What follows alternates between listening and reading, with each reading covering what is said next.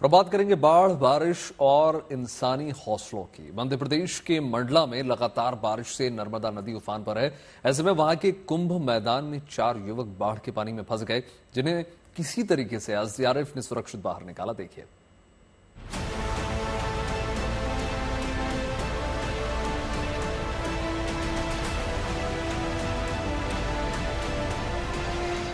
बाढ़ और बारिश में एहतियात ज़रूरी है। रिस्क नहीं लेना चाहिए।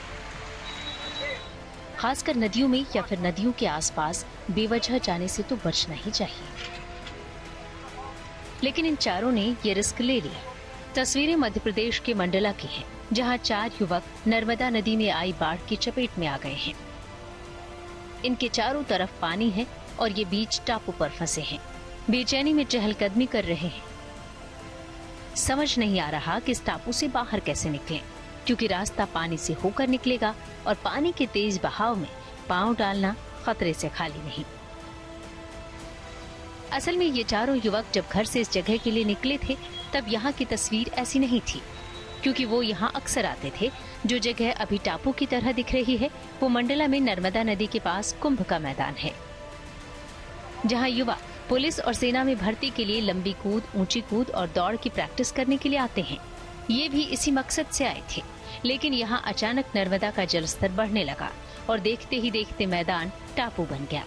इसके चारों तरफ़ नर्मदा नदी का पानी फैल गया। इसका बहाव इतना तेज था कि पानी के बीच से रास्ता निकालना जानलेवा साबित हो सकता था। ऐसे में स्थानीय लोगों ने होमगार्ड को इसकी सूचना दी। बाद में एसडीआरएफ की टीम की मदद से इन्हें बाहर निकाला गया। कुछ जवान लोग, जैसे नौजवान जो हैं आजकल, पुलिस की, फॉरेस्ट की, इसकी तैयारी करते हैं।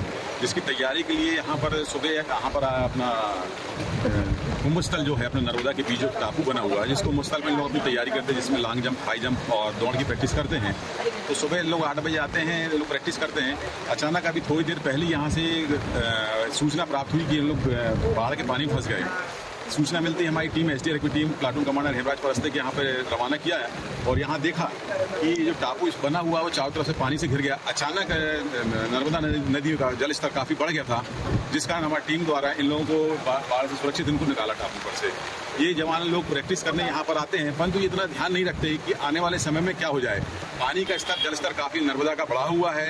लोगों को यहाँ पर हम लोगों के द्वारा छोटे रिफ्टा से रोका भी जाता है फिर भी आ, कुछ लोग अनावश्यक रूप से आदेश का निर्देश का पालन नहीं करते हैं। अब चारों युवक कुशल और सुरक्षित हैं। एसडीआरएफ की टीम इनके लिए देवदूत बनकर आई। सही वक्त पर पहुंचकर उन्होंने इन चारों को सुरक्षित बाहर निकाल लिया, वरना इन युवाओं की जिद इनके लिए जानलेवा साबित हो सकती थी। मध्य प्रदेश के मंडला से Syed Javed Ali, good news today.